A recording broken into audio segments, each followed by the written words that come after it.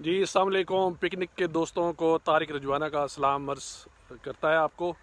और अल्हम्दुलिल्लाह जी, ये गुच्छे वाली सरसों जो के रेज बेड पे अल्हम्दुलिल्लाह इसको लगाया है, बहुत अच्छी जर्मिनेशन हुई है और माशाल्लाह प्लांट टू प्लांट इसका टू फीट और इसका जो रो टू रो है वो भी आलमोस्ट टू फीट है इसका।